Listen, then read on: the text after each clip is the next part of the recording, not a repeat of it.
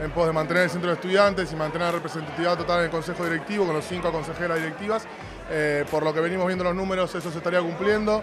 con algunos cambios en el panorama político de las agrupaciones de la facultad, pero nosotros pudiendo cumplir el, objetivo de mantener el centro de estudiantes y los cinco consejeros directivos. Eh, bueno, me siento muy conmovido, como les comentaba ahorita a los compañeros. Hicimos una publicación invitando a los compañeros de que no se olvidaran de venir a votar. Un compañero de la facultad escribió que no podía venir porque no tenía para la SUBE. Entonces me di cuenta de por qué razones eh, tengo que seguir acá dando la pelea. Estoy muy convencido de que tengo un conjunto de compañeros y compañeras que me están apoyando y que vamos a construir algo mejor acá en Elecciones bastante difíciles, ¿no? complicadas, polarizadas, igual que el año pasado,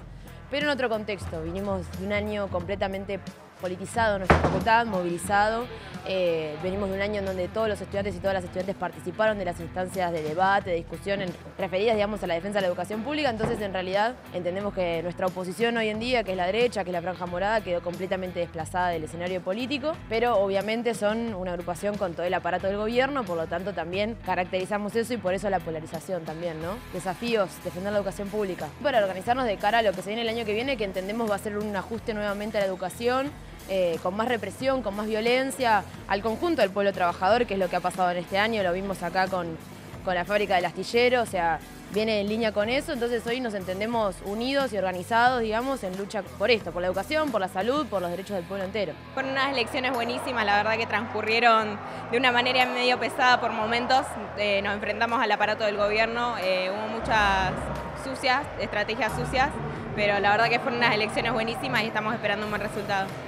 para el año que viene es cada vez más complicada y en ese contexto seguir avanzando como hicimos este año, enfrentando el ajuste del gobierno de Macri, eh, que nos viene poniendo trabas como estudiantes y como futuros ingenieros y en eso seguir organizando los estudiantes y trabajar todos juntos en unidad. grupo de estudiantes de organizaciones de izquierda, tanto del EPA como Tesis 11, Izquierda Socialista, y un conjunto enorme de compañeros autoconvocados pudimos hacer una experiencia y sacamos la conclusión de que efectivamente había que recuperar los centros de estudiantes de las manos de la burocracia que efectivamente lo único